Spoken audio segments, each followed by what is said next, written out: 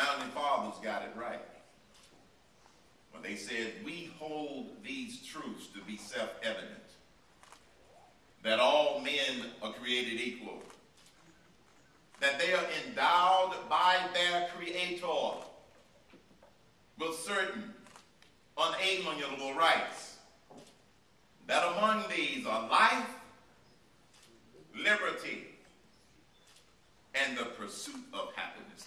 Life from conception in the story.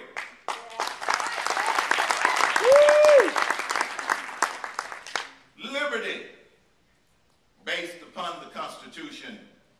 Some people want to try and rewrite the Constitution. Some people want to try and make it up as they go, including this president. All we need to do is reread the Constitution and enforce the Constitution. Those are the liberties that the founding fathers intended for us to have.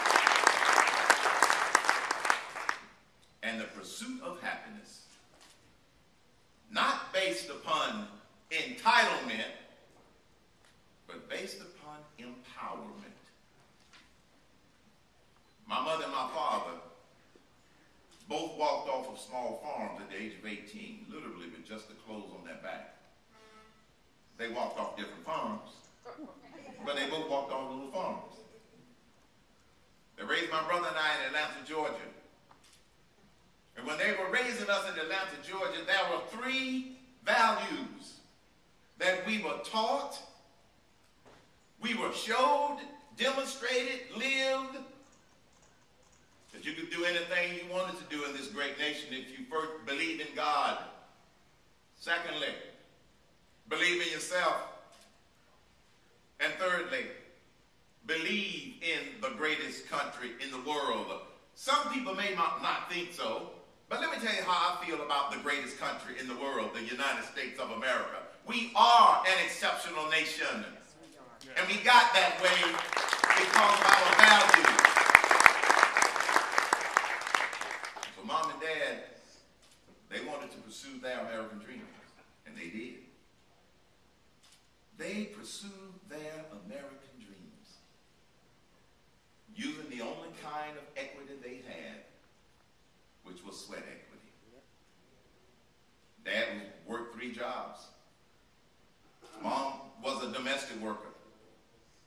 Dad worked those three jobs until he could provide for the family with two. He worked those two until he could provide for the family with one. And at the same time, he was saving the money from one of those jobs to pursue his dreams. One of his dreams was to be able to buy a whole house for the family. You know, we grew up in Atlanta. Six room house, three rooms on one side, three rooms on the other side, with a wall going down the middle. My brother and I used to ask Dad, Dad, why do we live in a half a house? Dad said, it's a duplex. but Dad, we only live in half of it. He said, it's a duplex. And I'll never forget the day that Dad came home and told my mother, my brother and I to get in the car. We got in the car. Didn't argue with Dad.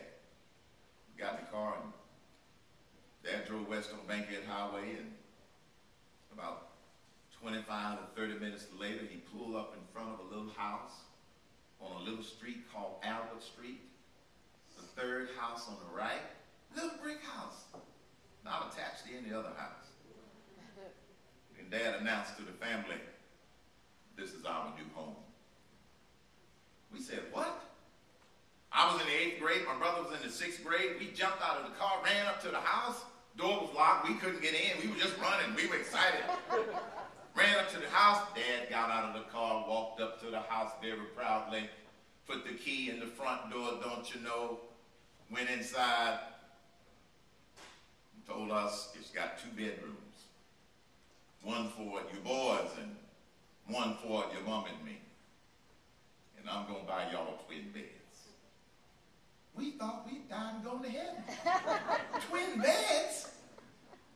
You see, when we were living in that duplex, my brother and I slept on a cot in the kitchen.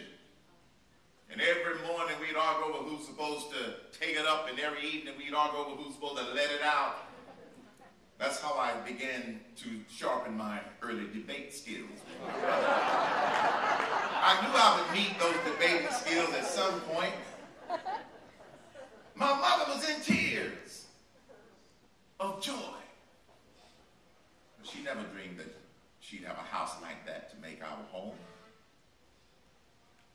And my dad saved enough money to buy that house, which was one of his dreams.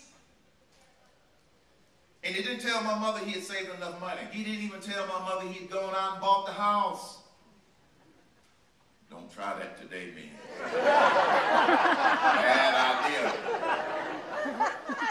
You living in that sucker by yourself. This is 2011.